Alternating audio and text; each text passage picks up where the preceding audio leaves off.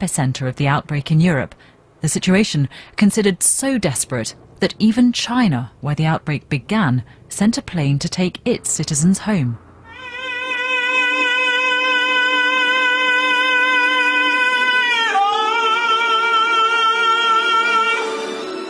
The virus is spreading, daily life disrupted, but it hasn't silenced this Florentine opera singer. As Europe mourns its dead, tries to heal its sick, communities, people are doing what they can. Jenny Hill, BBC News, Berlin. Well, Holly Moy is studying a teaching English as a foreign language course in San Sebastian in Spain. She had booked a flight home and at the last minute decided to stay. Uh, nice to see you, Holly, but just explain why. Um, well, it, it, was a really difficult decision because I was planning to be here until May. Um, I was doing my course, which I was really excited about doing. We were two weeks into the course. Um, and things just changed really quickly here. So on Thursday, the school was talking about shutting down most of the, the classes, but letting our class carry on because we were only sort of 10 people and we only had 10 or 20 students. And then, so that was the decision Friday morning. By Friday lunchtime, all of us were kind of collectively thinking, I don't know if this seems like the right thing. Everybody else is staying home. Maybe we're being a bit reckless. Maybe it's, you know, it's maybe we should be putting other people's health first, really. So we all started thinking, well, maybe we shouldn't be coming. The school kind of came to the same decision. So by lunchtime, we'd all decided that would be our last day. And then on the Friday afternoon, one of them, one of uh, my fellow uh, students, discovered that the town she was staying in, Vitoria, was going on lockdown that night. And she lives in France, so she decided to go home to go to her boyfriend. And um, and everybody was saying, "What are you going to do?" And I was like, "Oh, I don't know, because if I go home." What does that mean? Like we decided we were going to delay the course until the 20th of April. I think we're due to start the course again. Everything being well, we don't really know what's going to happen here. Um, so I really, I really didn't know what to do, and I spent all weekend talking to my parents and going, "What do I do? Do I come home? They're home?" in the UK, are they? Yeah, so my mum and my dad and all my family are all in the UK, and they're obviously, you know, when you're far away and you don't, you know, you see all these things on the news, you don't really know what's happening. So we had lots of conversations about should I come back, and would they be worried about me if I stay? Would I be worried about them if I stayed? Because you know, suddenly if there if there aren't any flights home and I can't get home if something happens to them or if something happens to me out here and I'm in a foreign hospital, they don't know what's happening to me. So it was really, it was sort of really difficult to know what to do. And I really didn't know. And in the end, I, I sort of thought about it overnight. I woke up in the morning, I thought, no, I am going to go home because I don't, you know, if things go bad, I want to be near my family. So I booked a flight home. And then I started hearing that like travel agents, you know, like um, insurance companies weren't issuing travel insurance anymore, and people were stopping flights to Europe. And I thought, actually, if I go home, I might not be able to come back. And you know, my real job is being a freelance documentary maker in TV, and I'm looking on my Facebook feed, and everybody's telly jobs are getting cancelled left, right, and centre. You know, it's really bad time to be a freelancer in general. I, um, I, so get, I, get, that. I'll, I'll, come to that the broader, yeah. broader, broader, in a moment. But, but you are, mm. in hmm. effect, in lockdown uh, on your own. Uh, and, and, yeah, and so could, could, be so for quite a while.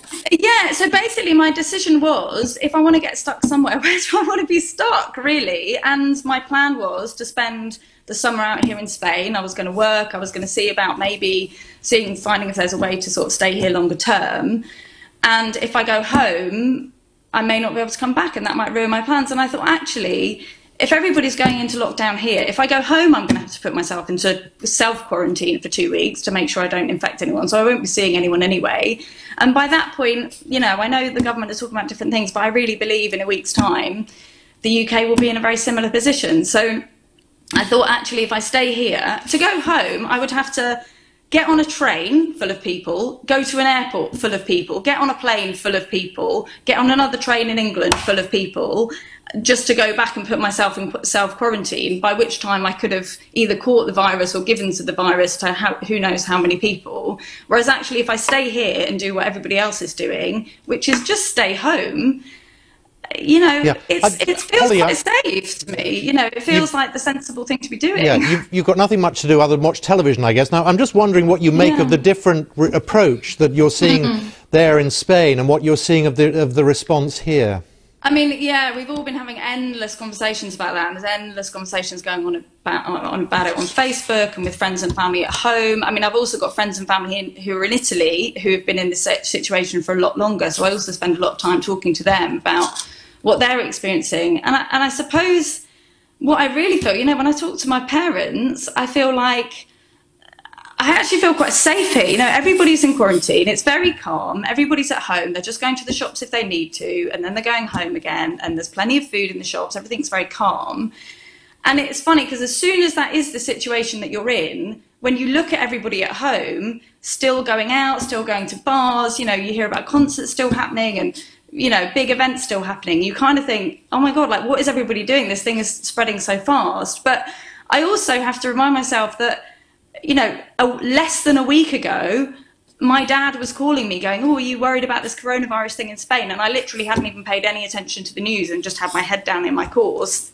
And no one was talking about it. And it, it changed so quickly in Spain. You know, literally a couple of nights ago, me and my friends were out eating dinner in the bars like everybody is in England now. So I do have to remind myself that England probably is only a week behind where we are. And what feels normal to you is what everybody else is doing, right? But it does it does feel now that everything's on lockdown, it feels a lot safer and it feels like the numbers were going up really quickly here. And now you just think, okay, well, you know, I'm in a flat all by myself. You know, I was staying with a family. Uh, well, I was staying with a woman, and when everything locked down, her two daughters came home from university to be with her. So I moved into this flat by myself so they could have a bit of space. Sorry, yeah. Yeah, sorry. sorry. really good to hear from you. Thank you very much for that. That's Holly Moy in San Sebastian. Good luck with your lockdown. Nice to talk Thanks. to you. Thanks. Well, let's uh, see what's happening elsewhere in the world. Let's take you, in fact, live to New York, to Manhattan, because uh, we've got a shot there. That, that is actually uh, just off Times Square. Uh, as you can see, what would normally be a really busy, bustling morning in New York is everything but. Now, this comes as the New York governor announcing that troops are going to be sent into a town not far, in fact, from Manhattan in an attempt to contain the spread of the coronavirus. The National Guard will deliver food to some individuals told to isolate. This is in New Rochelle. Uh, but as you can see, things very far from normal in New York City. Well, as we mentioned earlier, uh, two cities, including New York and Los Angeles, are now taking drastic steps to try to contain the virus, shutting schools, bars, and restaurants. Our North America correspondent David Willis reports. Life in many major cities here will soon resemble that of Europe. Restaurants, bars, and other public places are about to start shutting their doors and the government is recommending that gatherings of 50 or more people either be cancelled or postponed.